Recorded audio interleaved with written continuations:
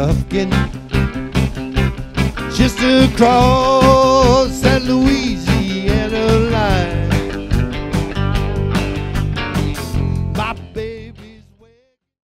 Señores y señoras, ¿cómo están? Bienvenidos a nuestra escena de Cable Plus. Qué placer que nos estén acompañando hoy como todos los viernes. Ustedes, ya que se están conectando con nosotros, los invito a que no se desconecten porque hoy, aparte de que vamos a tener una muy buena entrevista, les tengo un plan para esta noche. Después de que vean este programa, se pueden ir para la Corporación Cultural Tranvía, que ya estuvimos allá, y ver un excelente monólogo de este grupo de teatro 2030, con el que estoy hoy aquí sentado, las personas que ustedes están viendo a mi lado, que vamos a estar hablando de un montón de cosas interesantes que hacen aquí. Aparte, si usted está interesado en aprender teatro, ellos tienen varias maneras de enseñar algo particulares y justamente se acopla un poco a nuestro tema del día. ¿Usted a quién ha conocido por internet? Todos hemos conocido a alguna persona extraña por internet, le hemos dado like a una foto de un desconocido, sea famoso o no sea famoso, y hemos comenzado a tener cierto tipo de interacción. Nos han salvado en ciertos momentos eh, de la soledad, del aburrimiento. Algunas personas son un poquito más, van más allá y se conocen y pueden llegar a ser amigos, pareja. En el caso mío, mi mejor amigo lo conocí por internet, eh, pues porque él vive en otra ciudad, vive en Florencia, Caquetá, entonces de este modo pudimos conocernos y obviamente pues ya hemos vivido casi siete años de amistad, pero ya obviamente pues viéndonos, sin embargo, pues como él se retornó nuevamente a su casa, volvimos a, conectarnos por ahí. Y yo estoy seguro de que ustedes también han conocido a alguien por ahí, eh, seguramente han interactuado conmigo. Les recuerdo nuestras redes sociales, estamos en Facebook como nuestra escena guion medio cable plus y a mí me pueden encontrar como arroba sntbotero en Instagram. Sin más preámbulos, le doy la bienvenida a Camila, a Felipe y a Cristian. Ellos hacen parte del grupo de teatro Teatro 2030 y pues las damas primero. Entonces Camila, bienvenida a nuestra escena. ¿Cómo estás? Muy bien, muchas gracias por la invitación. Camila, este tema me surgió por un monólogo que vas a hacer, que es de relaciones sociales justamente. Claro que sí. Eh, quisiera saber si has conocido a alguien por internet, una persona en tu vida que en algún momento hayas interactuado con ella. Claro que sí. Mira, yo soy deportista, 10 años en atletismo y eh, por ese medio he conocido mucha gente de otros países que me han eh, dado sus experiencias en el deporte y uno queda como satisfecho de saber de que ellos han vivido también lo mismo y que muchas cosas que uno no comprende del deporte, lo, ellos lo ayudan a comprender. Total, el networking que llaman es también conocer personas que hacen algo similar a lo que uno hace, teatro, música, una profesión en tu caso como deportista y que también se pueden complementar y en cierto momento hasta hacer negocios en el caso de las personas que hacen comercio por este tipo de medios más virtuales. Pero bueno, comencemos a hablar de teatro, ahora sí quiero comenzar a hablar de qué es lo que hacen acá y va a tener la palabra el comunicador social y líder de teatro Felipe Incapié. Felipe, bienvenido a nuestra escena. Qué rico que nos estés acompañando y contanos un poquitico de dónde nació Teatro 2030. Hola, sí, muchas gracias por invitarnos acá al programa Nuestra Escena.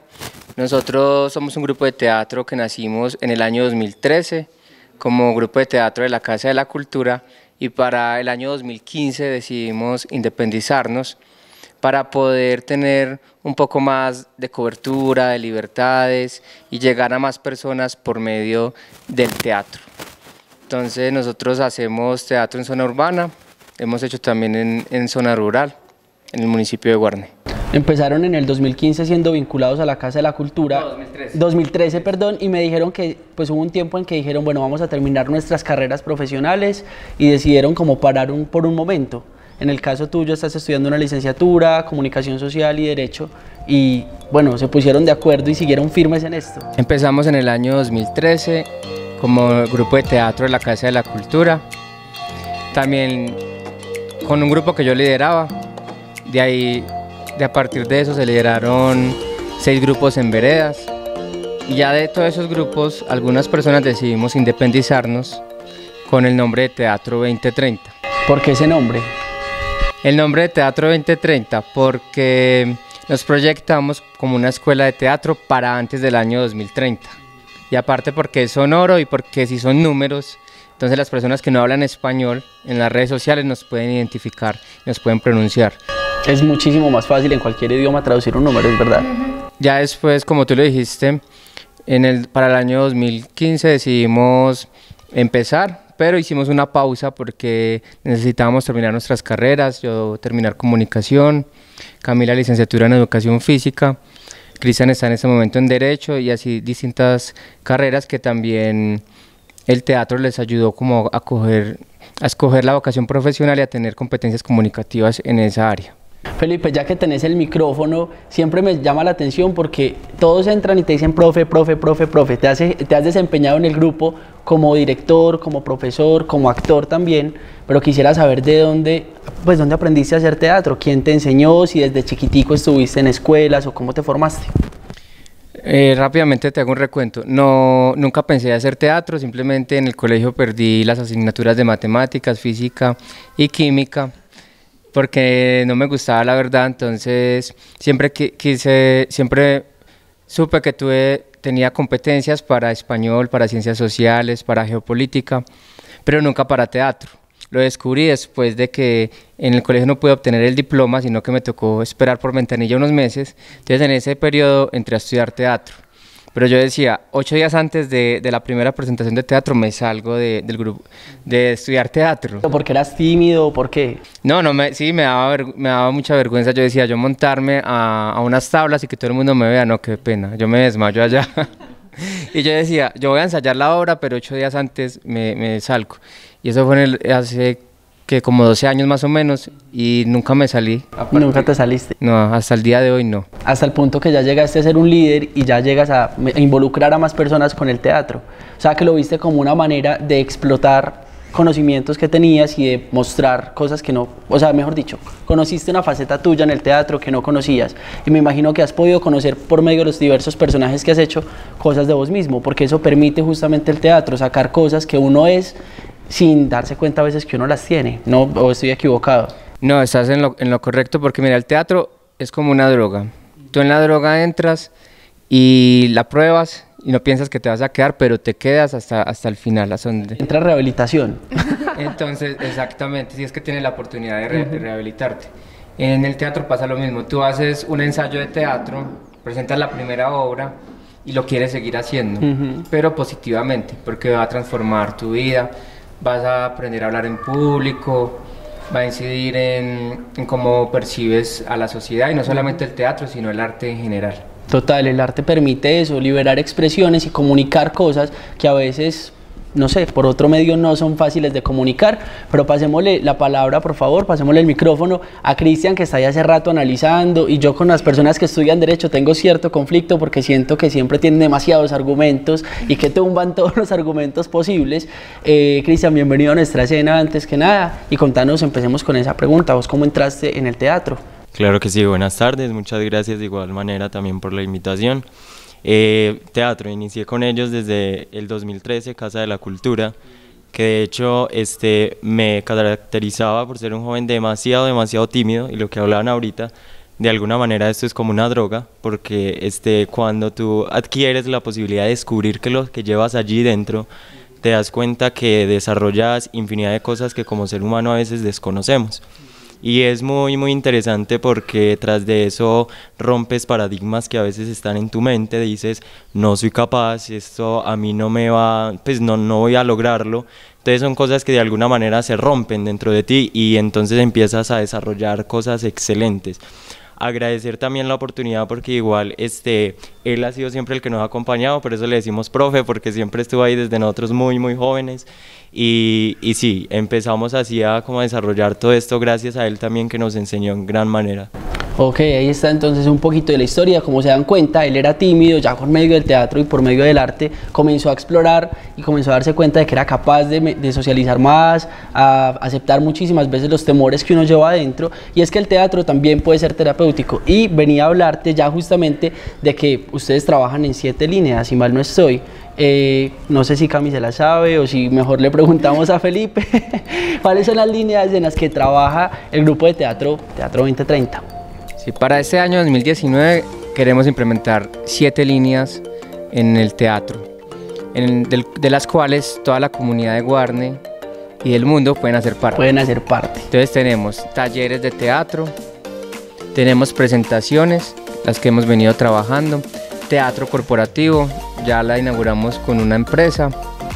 Tenemos teatro social, entonces empezamos a principio de año a ir a ancianatos y queremos ir a cárceles, queremos ir a las calles. Hacen clown, perdón, la pregunta. También, sí, nosotros eh, hacem- so- hacemos drama, clown, impro y algo de teatro de calle. Pero nos caracterizamos mucho por, por el teatro dramático, sin dejar a un lado el clown. Teatro terapia también lo queremos hacer. ¿Ese es cuál? Teatroterapia, nos estamos asesorando con profesionales de la salud, del área de la salud, como psicología, porque por medio del teatro tú puedes sanar rencores, puedes sanar dolores, puedes sanar miedos y también te puede ayudar el teatro en un proceso terapéutico, como proceso terapéutico y medicinal para mejorar las enfermedades. Ahora se puede mostrar que los malos pensamientos pueden llevar a tu cuerpo a que tengas eh, malas enfermedades o si ya la tienes, a que te enfermes más. Entonces, ¿por qué no por medio de la risa? Que te ayude también con la medicina a recuperarte. Es teatro, terapia. ¿Qué, qué otra línea, Cami, se nos escapa? Está la, el teatro virtual. Teatro virtual, ese me pareció súper interesante y por eso decías ahorita del mundo. Sí, es que el teatro virtual eh, se trata más que todo de que una persona de cualquier parte eh, nos contrate o, nos eh, avise y nosotros le prestamos el servicio de teatro de forma de videollamada y que son de esas personas que no son capaces de venir hasta el lugar a hacer el taller porque tienen miedo a que los demás los vean actuar o tienen pánico escénico, no son capaces de hablar en público. Entonces eso les permite como a soltarse un poquito más eh, desde sus hogares. Entonces, digamos, aprenderían por módulos, les enseñarían, digamos, no sé, desde lo más básico del teatro hasta ya un nivel más avanzado, pero todo es como personalizado en internet. Eso, claro que sí. La otra línea es de la línea de los líderes. Vamos a buscar a- alianzas, es verdad, alianzas para que estos jóvenes que están en este momento, acá hay una, pues hay dos, pero ellos son muchos más, somos alrededor de 15 y la mitad son los que salen a actuar porque obviamente el teatro tiene cierto complejo para empezar a actuar. Entonces queremos asociarnos con empresas, tanto la empresa pública como privada, para que se pueda certificar a estas personas que han estado en el proceso, pero ¿por qué no también a otros líderes de afuera del municipio para que puedan ser multiplicadores del, del teatro? Y una parte que también decía Cami del teatro virtual es que queremos llevar una de nuestras obras de teatro también a series. También nos estamos asesorando con productores para llevarlos ahora a series en, el canal de YouTube. que son ahora muy famosas y que creo que todos alguna vez en nuestras vidas nos hemos visto una serie, incluso ya canales privados eh, de nuestro país ya no sacan novelas, sino que prefieren sacar series porque aparte de que son más vistas, las pueden subir a diferentes plataformas virtuales y tienen mejor aceptación, pues ya nuestra generación y con todos los cambios que hemos tenido eh, con la globalización. Ustedes, en lo personal, ¿cuál es el, el teatro que más disfrutan hacer? Digamos, el énfasis de Teatro 2030 nos contaba Felipe que es dramático, que es como el fuerte que tienen ahora, sin dejar de lado los otros, pero en tu caso, Danilo, ¿cuál es el que más disfrutas hacer? Cristian, perdón, ¿por qué dije Danilo? Ah, sí, era el personaje. Ok, entonces hablemos desde Danilo. Mentiras que no, Cristian, qué pena contigo. ¿Cuál es el, el teatro que más disfrutas hacer? Pues sí, eh, eh, por lo general empezamos con una obra de teatro que se llama Roberto Zuco, que de hecho la recuerdo muchísimo, y también tiene mucho drama. Y, y es excelente porque, este, tras de que es un contraste de personalidades, porque tiendes a ser muy, muy, muy tímido, en, mi, eh, por- en este caso yo, entonces eso como que, bueno, él nos decía, "Ah, bueno, sueltes en más, entonces empezaba ese proceso como de uno adoptar a alguien que no soy yo. Entonces es como ese contraste, pero eh, es bueno porque explotas eso que llevas dentro. Como quien dice, eh, no hay rienda a, a- a presionarme yo mismo, sino que hagámosle. Y entonces es algo que uno puede expresar, que puede de alguna manera este, demostrar de que sí, lo puedes lograr. Entonces es muy, muy bacano ese, esa parte dramática en el teatro. Perfecto, en el caso de Felipe. Definitivamente el teatro que a mí más me gusta ver, ver es el teatro de comedia. Me gusta mucho el clown y la impro. Paradójicamente el que más me gusta hacer es el drama. Yo soy mucho del teatro de drama, Ver mucho el de, el de cómico, pero te encanta hacer drama. pero me gusta hacer el, el drama. Me gusta llevar las situaciones que uno ve a veces en la vida diaria, llevarlas al teatro por medio del drama. Cami. Bueno, a mí eh, personalmente me gusta también mucho el, el- el de el cómico, pues disfrutarse de ver a los personajes cómo eh, hacen reír a, a su público. pero hacerlo también el cómico y el drama, porque es algo que tú con tu primera tu primera acción en, en, tablas ya estás como que listo, sigue otra acción de drama, entonces como te, te va subiendo esa emoción, esa emoción y cuando te... También es... Eso, y son quietecitos, quietecitos esperando a ver qué puede pasar. Y este también es cuando se termina, uno queda con una sensación de que... Eh, estuvo bien y, y, el público estuvo concentrado en todo lo que hicimos. Yo, yo, creo que hacer cómico debe ser muy difícil porque la cosa más dura que hay es hacer reír. Es algo que creo que para las personas que hacen este tipo de teatro puede ser muy frustrante si el público en ese momento no está receptivo o no entiende lo que quiere decir o simplemente no están las energías para reírse. Puede ser muy frustrante, entonces creo que somos cuatro dramáticos en este caso. Acá ustedes no se despeguen de nuestra escena porque volvemos con el segundo bloque y más invitados que están por allá atrás. Ya volvemos.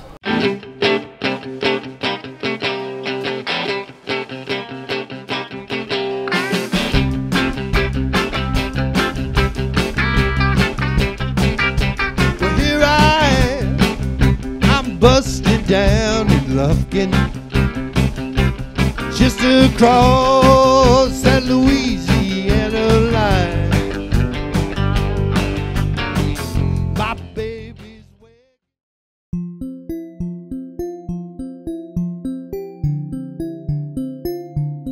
Guarne, la gran puerta del oriente antioqueño, ubicada entre dos ciudades claves en el desarrollo del departamento, con aires fríos se oxigenan los grandiosos paisajes verdes que nos rodean. Un pueblo de gente humilde que teje sus sueños. La mezcla de lo rural y lo urbano que hace de nuestro municipio un lugar ideal para vivir. Quiérelo, respétalo, porque eres guarneño.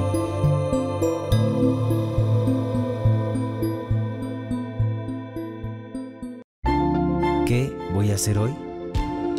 Hoy voy a crecer de nuevo. Voy a descubrir y a reinventar. Tengo toda una vida por disfrutar. Soy Juan David Manjarres, soldado profesional, futuro chef y administrador de la seguridad y salud ocupacional. Y yo vivo el CRI. Aquí tienes una nueva oportunidad. Centro de Rehabilitación Inclusiva. Gobierno de Colombia.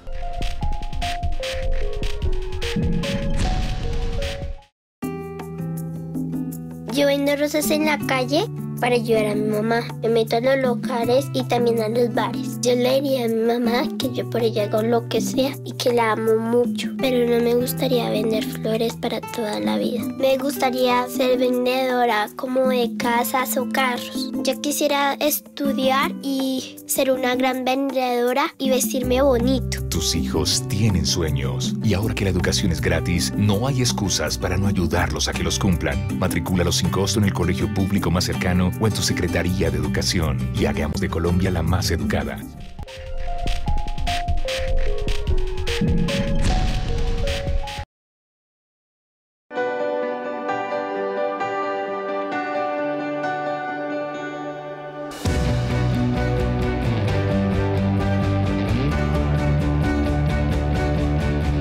Ahora nadie se llevará por internet porque lo estamos llevando a cientos de municipios a través de las zonas Wi-Fi para la gente.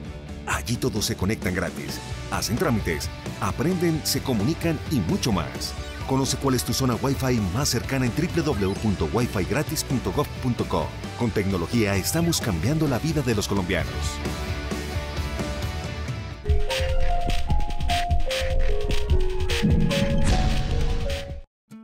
Usted como televidente puede ejercer su derecho de expresión. Si tiene una queja, una pregunta o una felicitación con respecto a los contenidos emitidos en el servicio de televisión, puede comunicarse con el defensor del televidente de cada canal y en caso de no obtener respuesta, puede hacerlo a través de la ANTV al correo electrónico información@antv.gov.co o a nuestra dirección calle 72 número 1277 en Bogotá, porque su opinión es importante para nuestra televisión. Haga uso de sus derechos.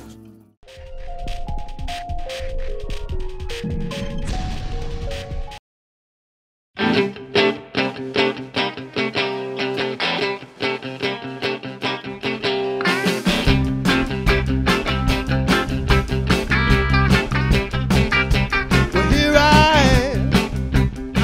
Estamos de vuelta en nuestra cena, gracias por estar con nosotros. Yo estaba disfrutando de un excelente café, tomando fortaleza, de ahí viene la palabra café de cae, que es una palabra arábica que significa o traduce fortaleza, y por eso es que uno se siente enérgico y vivo. Un café delicioso que me acaban de dar y espero que ustedes estén igual de enérgicos aquí viendo el programa, porque estamos con la corporación, pues con la corporación, no, perdón, con el grupo de teatro 2030 pero es la meta ser corporación, sino que es que estoy con la mente en los monólogos que presentan en la Corporación Cultural Tranvía aquí en el municipio de Guarne para que usted, si ahorita después de ver nuestra escena no tiene plan, pues se programe y vaya a uno de estos monólogos que se presentan hoy a las 7 y 30 de la noche en la Corporación Cultural Tranvía. Súper fácil llegar, ya hemos estado allá, sencillamente puede buscar en Google Maps o si usted vive en Guarne seguramente ya sabe en dónde queda. Y es un excelente plan para las personas que disfrutan el teatro y que disfrutan por supuesto ver muy pero muy buenos monólogos que es una de las líneas del teatro, del cual vamos a hablar en este bloque específicamente, porque creo que son cuatro los que han logrado presentar, pues van tres, creo que van ya tres presentados en lo que va corrido el mes, y este es uno de los últimos. Eh, como ven, hay una chica nueva sentada aquí con nosotros, le doy la bienvenida, Carol, ¿cómo estás? Y bienvenida a nuestra cena. Hola, muchísimas gracias por invitarme. Eh, sí, yo hago parte pues, también del, del grupo de teatro 2030 y eh, subimos con el monólogo eh, ahorita, el sábado pasado, eh, un monólogo sobre costumbres, costumbres 1 y 2. Eh, fue excelente, lamentamos pues la no haber ido usted, mentiras, y no, y que les cuento más. ¿De qué trató? O sea, a mí me dice mucho el nombre del monólogo, pero costumbres de qué? claro que sí, buen punto. pero bueno, costumbres tenemos más que todo el putas de aguadas. Fue, esa fue nuestra línea, esa fue nuestra idea y de ahí lo sacamos. Em, intentamos volverlo un monólogo donde estamos explicando una obra que vamos a montar muy pronto que sería el putas de aguadas. Entonces también pues con eso estamos muy, muy contentos. es nuestro próximo proyecto y que muy pronto van a saber de nosotros aquí en Guarne. Carol, yo escucho este nombre y siempre se me viene a la mente como algo de Sembrino, una persona que se cree pues literalmente ese personaje de Aguadas.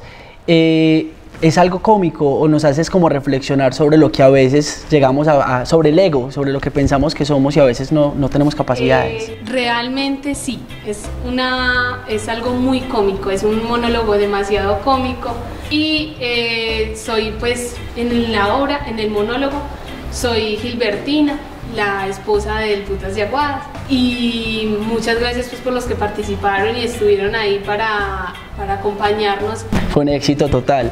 Felipe fue el que inició esta, o sea, el que inició esta temporada de monólogos. Incluso hasta llegó a raparse dentro del mismo monólogo. Eso me impactó un poquito.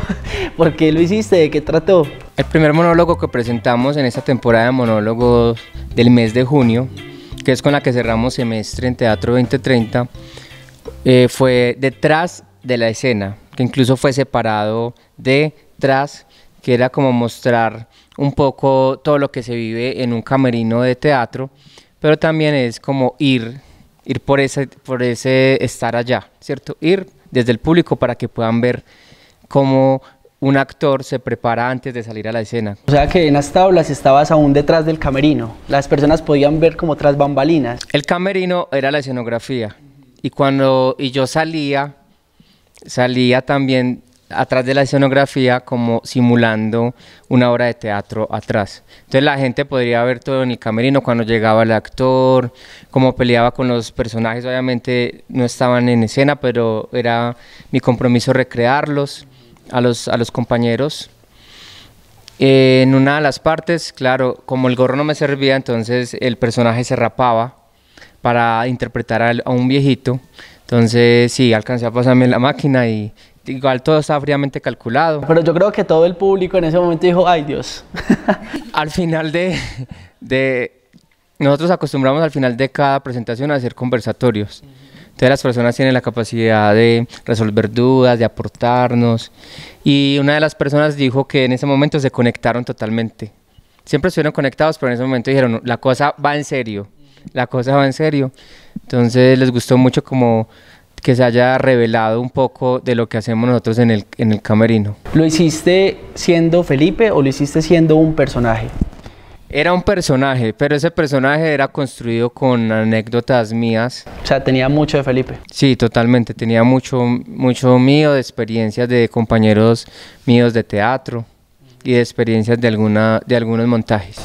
Hay un tema muy interesante que a partir de ahí es que nace nuestro tema del día, que les recuerdo es usted a quien ha conocido por internet o por redes sociales, y es el de Camila. Eh, Camila, háblanos un poquitico del tuyo porque me parece supremamente interesante. Bueno, eh, mi monólogo se llama Relaciones se me olvidó. Relaciones sociales. Relaciones sociales, sí. Sí, los Estoy concentrada la- en el monólogo. Eh, en Relaciones sociales trata específicamente de ese cambio que hubo desde años atrás, de la década anteriores, que estábamos los familiares súper reunidos, jugando a juegos de mesa, eh, si grabábamos un- una música era por unos cassettes, eh, si tomaban fotografía eran unas cámaras demasiado gigantes. O era el rollo y entonces ya como uno quedó, Sí, quedó. Como quedó, quedó. eh, los videos eran grabados en baja resolución. Entonces, eh, como esa evolución de la parte del medio digital, de como todas esas cosas llegaron a un solo dispositivo y cambiaron no solamente la parte tecnológica, sino la parte social, porque anteriormente nos reuníamos no solamente los familiares a jugar, a hablar, a disfrutar eh, la familia, sino que nos reuníamos todo el vecindario y el que tuviera mayor juegos de mesa, ese era el rey del, del de la vecindad, porque era el, al quien le llegaba a todo el mundo, ¿cierto?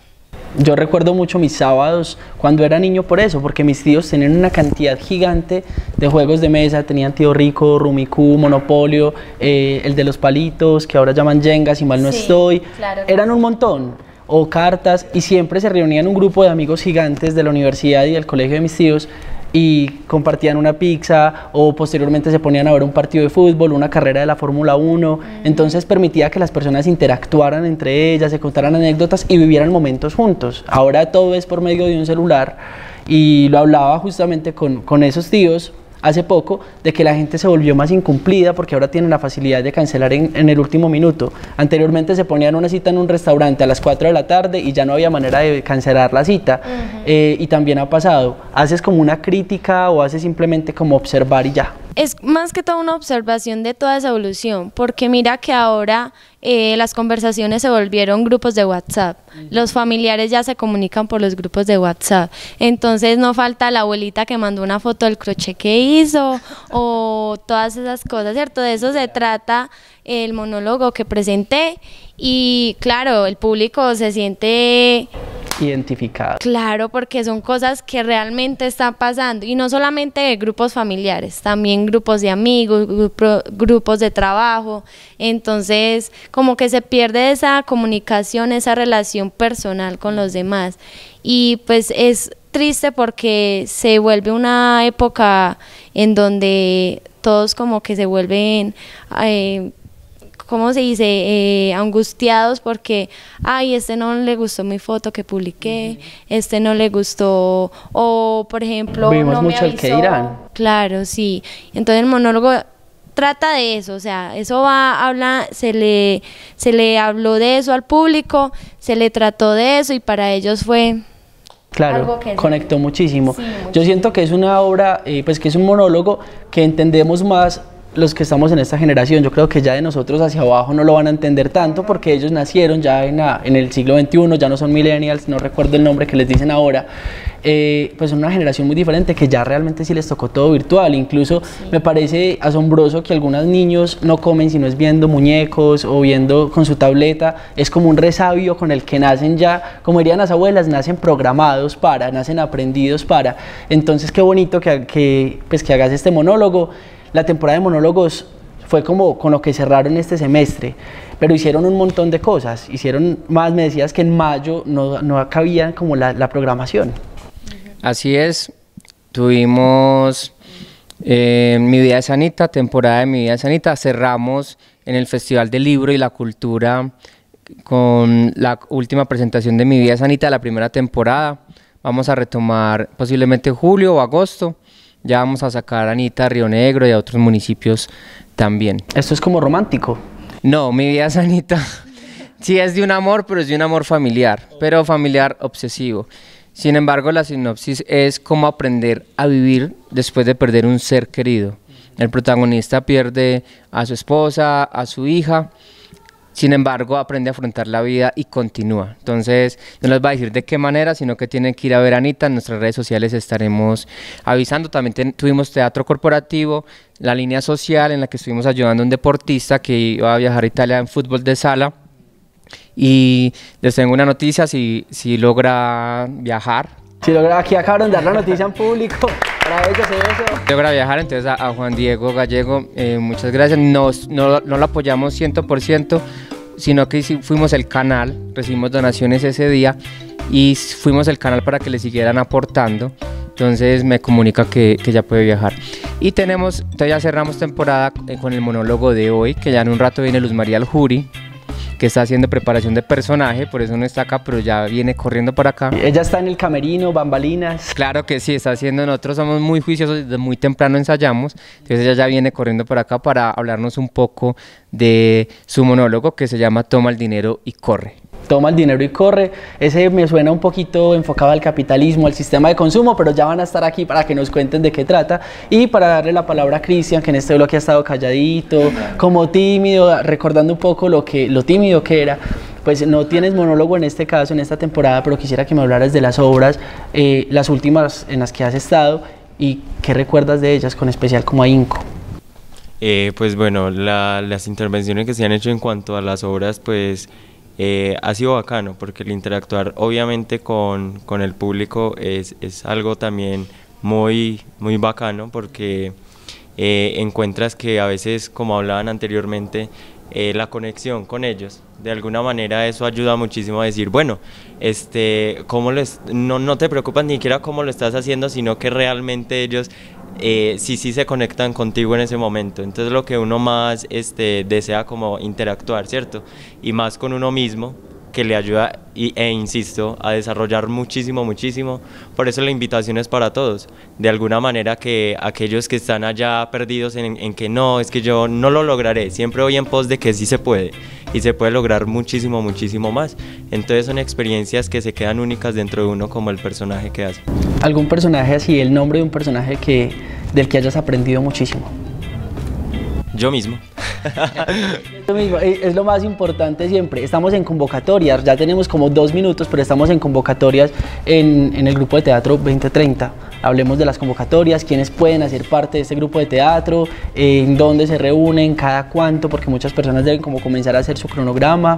Hablemos de eso. Así es, nosotros en, en este momento no tenemos sede física, nos estamos reuniendo en Cyberpark. Agradecemos entonces a la familia que nos ha prestado el salón de Cyberpark, agradecemos a Casa Cúbica que también nos ha abierto las puertas para presentarnos y a la corporación Tranvía también nos hemos presentado en el Santo Tomás y en el Parque de Guarne. Entonces nosotros somos un grupo del pueblo. Entonces, donde nos llamen y nos requieran, ahí estaremos. Son como gitanitos. Sí, somos, somos gitanos, somos abstractos, sociales, y la meta es obviamente ir por, por una sede y por la resignificación del ejercicio del teatro en Guarne. Entonces, estamos en convocatorias para nuestros próximos montajes, como decía Carol, para esta obra costumbristas, también estamos buscando un personaje para Mi vida es Anita, y queremos también un personaje para el otro montaje grande que tenemos. ¿Cómo pueden hacer parte de nuestro grupo? Fácil, síganos en nuestras redes sociales, Teatro 2030 en Instagram y en Facebook Teatro Slats 2030. Nos mandan un mensaje y listo. De una vez cuadramos la cita, hacemos un taller y pueden estar en nuestros montajes, pero también, ¿por qué no? Pueden acompañarnos en nuestras otras líneas. Vamos a ir a hospitales en la social o pueden recibir un taller de teatro virtual y pueden revisar las otras líneas también en nuestras redes sociales. Ok, entonces mientras vamos a comerciales, los invito para que aprovechen, vayan al baño, llamen al vecino, a la amiga, al que quiera aprender teatro, al que quiera verse este programa y por supuesto que visiten las redes sociales de Teatro 2030. Nosotros ya volvemos con más. No se muevan.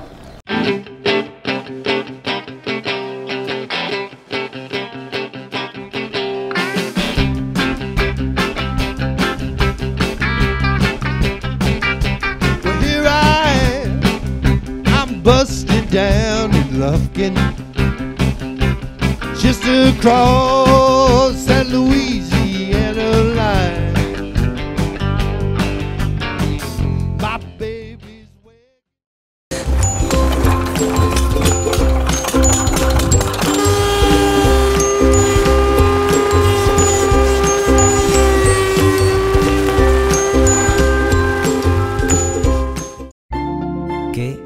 hoy?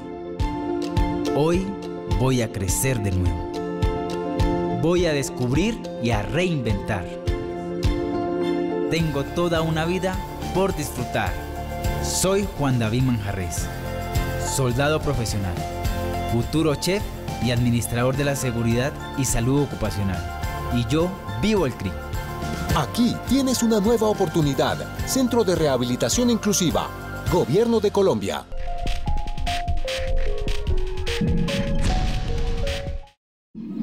Eres único y en tu interior llevas más de 20.000 genes y uno solo puede transformarlo todo. Activa tu gen ciudadano. Actívalo y maneja tus emociones.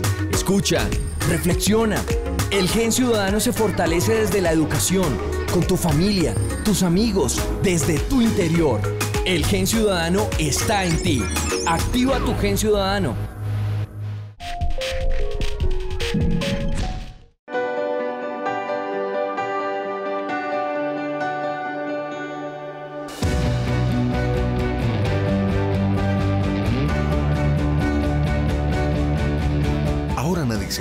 Internet porque lo estamos llevando a cientos de municipios a través de las zonas Wi-Fi para la gente. Allí todos se conectan gratis, hacen trámites, aprenden, se comunican y mucho más. Conoce cuál es tu zona Wi-Fi más cercana en www.wifigratis.gov.co. Con tecnología estamos cambiando la vida de los colombianos.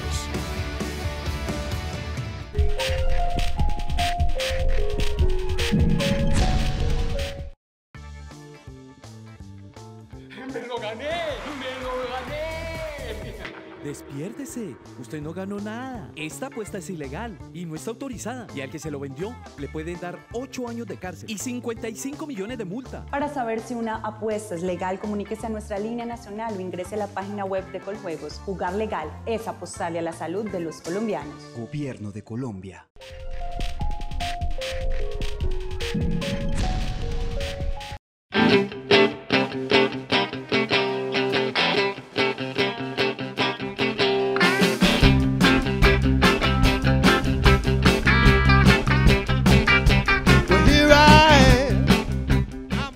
Casi se nos acaba el tiempo, pero ustedes si apenas se están conectando, les doy la bienvenida a este programa. Los invito a que lo visiten, a que lo vean nuevamente en nuestro canal de YouTube. Recuerden que Cable Plus siempre sube todos los contenidos a su canal. Lo buscan, nos buscan como Cable Plus Guarne o Cable Plus Televisión. Dan clic sobre ese icono y aparecen todas las notas del noticiero, Ser Mamás, eh, Mi Fonda, Carrusel Mágico y todos los programas que ustedes se han perdido o que quieren repetir. Eh, aparte, pues nuestra escena hoy está muy interesante porque estamos haciendo invitación a que a que ustedes hagan teatro, a que, a que se unan a, un grupo de teatro, a que exploren esa faceta que muchas personas la tienen por ahí escondida y que no saben que la tienen. Otras personas que siempre han tenido como las ganas y les da miedo, pues bueno, ya tenemos también teatro virtual eh, para que ustedes empiecen a involucrarse con este mundo que es tan bonito y que les permite descubrirse y enamorarse de, un arte que es tan importante en la vida de los seres humanos, porque el arte realmente, pues ningún, ani- ningún otro animal hace arte, nosotros somos los únicos animales capaces de hacerlo, entonces nada mejor que disfrutarlo y que no solamente sea la música, que es lo que más normalmente eh, los seres humanos hacemos o disfrutamos, sino que también sean otros medios de expresión. Y como ven, hay una nueva señorita aquí sentada, la voy a inaugurar con el tema del día porque en el segundo bloque no lo mencionamos. Recuerden que ustedes pueden participar de este tema del día en nuestras redes sociales, nos encuentran como nuestra escena guion medio cable plus, eh, a ellos los encuentran también como Teatro 2030 en Facebook y Teatro slash 2030, creo que es así, en Instagram, ¿verdad? ¿Estoy equivocado? No, esa está bien, listo. Entonces así los encuentran para que comiencen a interactuar y nos eh, acompaña ahora sí Que ella es la que va a estar en el monólogo, que no es hoy, perdón, tuve un lapsus de tiempo, es mañana a las 7 y 30, mejor para que usted se ahorre los 5 mil de mañana, no salga hoy, se ahorre los 5 mil y vaya mañana a las 7 y 30 de la noche a la Corporación Cultural Tranvía, porque va a estar el monólogo de Corre por el dinero, el dinero corre, no, no, No, eh. recuerdo. Aquí está para que nos cuente, bienvenida a nuestra cena. Bueno, hola, eh, mi monólogo trata en esta época de elecciones, es sobre política. Es como la confesión de un político, entonces va a estar muy interesante, eh, es con sátira, un poco de comedia, entonces invitadísimos para que tomemos también conciencia de todos estos procesos tan importantes que somos parte todos los seres humanos y, y para que tomemos conciencia a la hora de votar también un poco. Va a estar muy chévere, los espero allá, tiene un aporte de 5 mil pesos en la corporación Tranvía, que queda diagonal a... mm, al al gimnasio. gimnasio de Big Boys. Eh, ¿No te da susto un poquito hacer sátira política en este año específicamente? Pues sí, la, la verdad, o sea, sí, sí se tiene un poco el miedo, pero pues yo eh, ya estoy próxima a graduarme de comunicación social y periodismo y me parece muy importante tener también como esa parte, porque cuando uno hace algo cómico o algo de manera sátira, la gente se interesa más en eso y entonces lo, lo toman de una manera más amable y no solo como, bueno, se están criticando todo, porque ya al final también dice como los puntos buenos que tiene la política, o sea, porque en sí la política es muy buena, pero hay quienes la corrompen, por decirlo de alguna manera. Entonces, sí, eh, espero que todo salga muy bien y que las personas que asistan les guste muchísimo. ¿Cuánto dura este monólogo? Dura aproximadamente 15 a 20 minutos. 15 a 20 minutos y el tiempo de preparación es muy arduo. Me imagino que llevas ensayándolo y cambiando líneas una y otra vez. Exacto, yo lo traje de un escritor español. Entonces, pues habían ciertas palabras diferentes, el voice, el nosotros, el vosotros, perdón. Entonces tuve que hacer unos cambios y también como soy mujer y la política casi siempre está centrada en, en lo masculino, en los hombres, entonces tuve que hacer unos cambios y me parece también muy importante que las mujeres se empoderen pues como de la política y, y también, y también digan los puntos a favor y en contra o con lo que están de acuerdo y no en ese caso. Eso me parece muy importante. Fíjate que justamente eh, en las últimas elecciones presidenciales, eh, pues realmente habían muy pocas candidatas mujeres.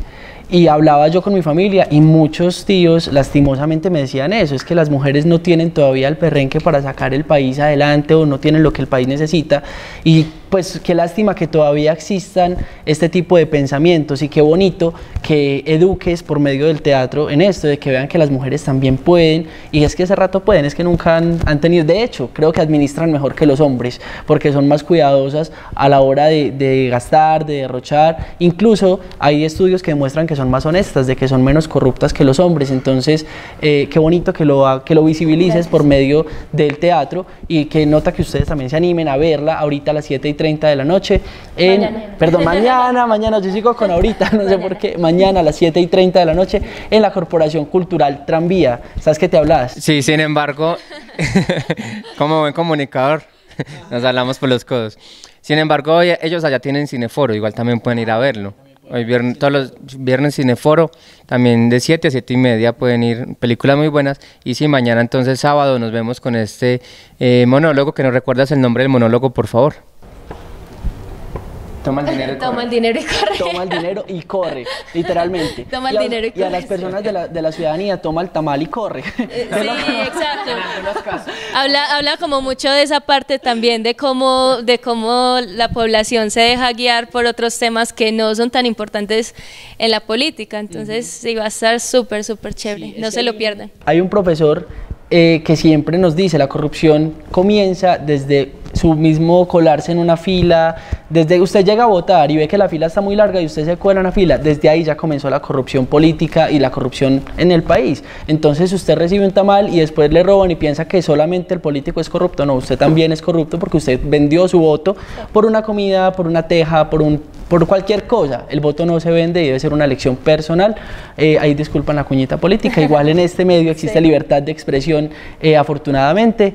Eh, y yo te dije que te iba a inaugurar con el tema del día y no te inauguré con el tema del día, que es a quién ha conocido por internet. Estamos en una época en la que conocemos amigos, personas, interactuamos con muchos desconocidos por redes sociales. Pues yo la verdad interactúo bastante con personas eh, por internet, principalmente yo estoy en un club de fans, de fans de Que es música alternativa. Entonces ahí hay muchas personas, principalmente de Latinoamérica, México. Entonces he conocido varias chicas y chicos de México y hablamos todo el tiempo. Entonces compartimos, eh, digamos que yo subo una foto en, en el estado de la bandeja paisa. Entonces ellos, ay, ¿qué es eso? Qué rico. Y ellos suben también cosas, comidas típicas de su país, entonces vamos compartiendo conocimientos, además de las palabras, por ejemplo, eh, hay un amigo que se llama Frank y él siempre me dice, Luz, envíame una, un audio, una nota de voz, que me gusta mucho tu acento paisa, que no sé qué. ¿A él le gusta el Que acento sí, paisa? Ya, ya incluso- por ahí veo corazones. no, no, no, incluso la primera vez que hablamos fue porque él, Eh, no, pero fue con otra persona. La primera vez que hablamos era porque la novia estaba como enojada con él. Entonces me dijo, Luz, hazme un favor y me envías una nota de voz con tu acento paisa pidiéndole que me perdone porque a ella le gusta mucho el acento colombiano. Y yo, ay, ¿yo qué le digo a esta muchacha? Entonces me dijo el nombre y yo, ah, hola, eh, mi nombre es Luz María Aljuri, yo soy de Colombia, que perdone a tal, no sé qué. Y pues fue muy gracioso. incluso también hay otro que es el que maneja la página de fans y él tiene una emisora virtual. Y entonces me dice que le mande pues como las cuñas, la programación, todo. Es muy chévere. Sí, a mí me gusta mucho como conocer personas de otros países porque eh, se adquiere mucho conocimiento. Total, se enriquece nuestra cultura, fortalecemos la cultura de ellos y aparte hacemos relaciones que en el futuro nos pueden servir. Uno, mi mamá siempre me dice, conozca gente que uno no sabe a quién necesita en la vida, eso sí, pórtese bien con todos y consejos, si se va a conocer con una persona eh, virtual, pues cuéntele a alguien, siempre que alguien lo esté vigilando, porque pues hay personas que no siempre tienen las mejores intenciones y pueden hacerle daño en el caso de que se encuentren personalmente. Hay casos por montones, entonces que usted no sea una víctima, si va a viajar a otro país, eh, pilas con lo que le pintan, siempre esté muy precavido, pero igual pues a veces es bueno tomar el riesgo siempre y cuando haya alguien que esté informado y avisado y por supuesto también pedir consejos porque creo que a veces no es tan conveniente como juntarnos por medio de las redes sociales. Pero hablemos de teatro, ya casi se nos acaba este bloque. Quiero que nos cuenten qué se viene ya para el segundo semestre. Quiero darle la palabra, no sé, a alguien de por este ladito que hace rato no hablan. Eh, ¿Qué viene para el segundo semestre del 2019? Para este segundo semestre de 2019 venimos con segunda temporada de Mi Vida de Sanita venimos con una obra costumbrista también, venimos con una obra que ya estamos construyendo entre todos, porque también somos un grupo participativo, que entonces serían tres montajes y queremos inaugurar nuestra línea de teatro virtual. Entonces, muy atentos todos en nuestras redes sociales para que reciban los talleres y también en esa parte de línea de teatro virtual viene lo que ya hemos venido pues trabajando, el preámbulo han sido las redes sociales que hemos venido trabajando, pero queremos llevar algunos montajes a material audiovisual. Entonces queremos llevar, por ejemplo, Mi Vida Sanita a un corto. Entonces ya lo estarán viendo por ahí nuestro canal de YouTube, que lo vamos a inaugurar dentro de poco. Esas son como las tres cosas que se vienen y todo lo que, lo que la comunidad quiera que hagamos, nos escriben por favor. Nos sentamos y estamos prestos a actuar para las personas del municipio de Guarne. Ok, ya como actores, ya como personas enamoradas del teatro, quiero preguntarle a cada uno algo específico y quiero comenzar eh, por Carol. Carol, ¿qué ha sido lo más difícil de hacer teatro para ti? No sé, llorar en escena, porque a veces llorar no es tan fácil, hacer reír, ¿qué ha sido lo más teso? Lo más difícil, a ver, ¿qué podría ser? Es que es como lo estaba diciendo ahorita mi amigo Chris, el teatro se presta para tantas cosas que lo que uno dice, no, yo no lo puedo hacer, uno termina haciéndolo. Yo creo que ya acabo de recordar así rápidamente, lo más difícil para mí ha sido bailar. Yo siempre dije, no, yo bailar no, yo eso ni idea, no soy capaz, no, no, no, hasta que abrí mi mente, decidí, no, sí, de pronto sí soy capaz y ha sido lo más difícil que he hecho eh, como actriz.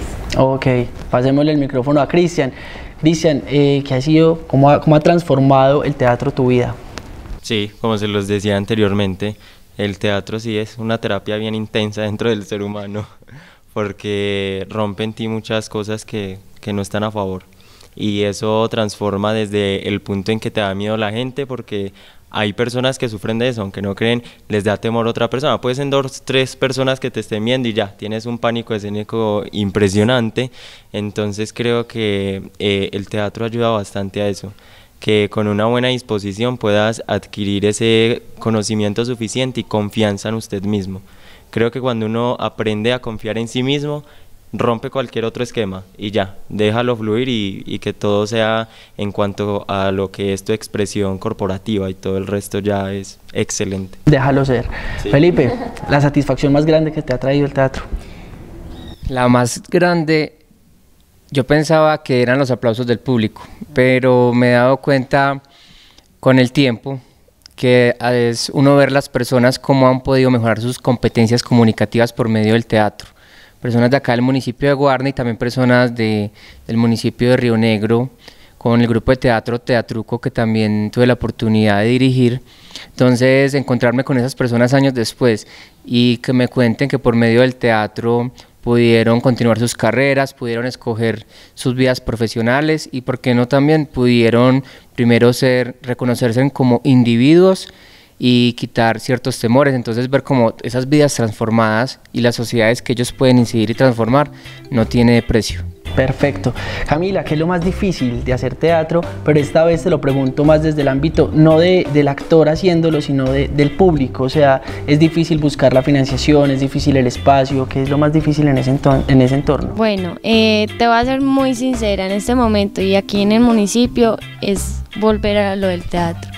Guarne en este momento es un municipio en donde el teatro no ha sido muy bien apoyado. Este, la gente como que no, no está acostumbrada a que muchos grupos de teatro, porque Guarne tiene muchos grupos de teatro, eh, hagan presentaciones. Entonces como que, ay, sí, bueno, eh, hay una presentación, pero es que a mí el teatro como que... Falta educar público. Eso sí, la educación en el teatro porque sí se ha visto, o sea, somos muchos los que queremos y estamos haciendo teatro, pero falta el, pueblo, la comunidad, que venga el apoyo. Porque financiar eso, unos eh, somos paisas y hablando y hablando eso conseguimos lo que sea. Pero la parte del público de que nos vengan a apoyar, eso sí a veces es complicado. Sería entonces que la Secretaría de Cultura empiece un programa de formación de públicos, eso lo hace algunas veces la, Alcaldía de Medellín y ha tenido éxito, yo estuve en una formación de públicos audiovisuales, eh, es muy interesante porque uno aprende muchísimas cosas y ya uno no ve una película igual. Y por último, quiero que Luis nos haga una invitación a las personas para que se unan a Teatro 2030. Bueno, eh, yo quiero empezar con que el teatro fue trascendental en mi vida. yo empecé desde muy niña en el colegio, 11 años aproximadamente, y luego pues estuve más en eso con Felipe desde que inició el grupo en el 2013. Incluso pues Felipe contaba todas las cosas que se hacían en la carrera y todo eso, entonces yo dije, no, yo voy a estudiar comunicación social y periodismo. Entonces eso también, sí, eso, eso ayudó mucho como a, mi decisión profesional. Eh, yo los invito porque puede generar un cambio en ustedes como lo ha generado en mí y pueden aprender muchísimas cosas, cómo expresarse mejor, sus gestualidades, cómo dirigirse hacia las personas de una, de una manera cordial, bonita y también cómo transformar la sociedad a través del teatro, porque mira que en este momento yo siento inconformidades con la política, entonces voy a presentar este monólogo mañana. Eh, yo tengo un monólogo también de víctimas del conflicto, porque estoy en desacuerdo con eso o pues rechazo todo lo que ha pasado. Entonces siempre alguna problemática que uno tenga en su vida personal o que vea reflejada en la sociedad la puede transformar a través del teatro o informarla, porque muchas personas desconocemos todas las situaciones, digamos, del conflicto, somos muy ajenos muchísimas veces, o, situaciones cotidianas, no solamente políticas, eh, de desamor, de enfermedades mentales que muchas veces pasan y demás. Se nos acabó el tiempo, chicos, muchísimas gracias por acompañarnos. Esperamos entonces que mañana tu monólogo tenga muchísimo éxito, por fin me acordé que era mañana. Pero bueno, ustedes ya saben, mañana a las 7 y 30 los esperamos en la Corporación Cultural Tranvía. Nos despedimos, cuídense mucho. Nos vemos el viernes. Invitados.